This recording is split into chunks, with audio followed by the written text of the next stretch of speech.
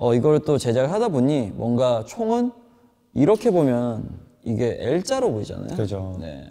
그리고 또 엑소분들의 그 팬클럽 이 엑소의 엑소 L이라고 그래서 이제 그 엑소분들이 항상 그 우리 L들 그러면서 네. 이제 이렇게 하시던데 맞아, 맞아, 맞아. 팬분들의 뭔가 의미도 담을 수 있지 않을까 해서 L자를 보여주고 그 다음에 술잔을 마, 어, 들어서 마시는 네, 이런 이중적인 의미가 정말 우연치 않게 탄생했다라는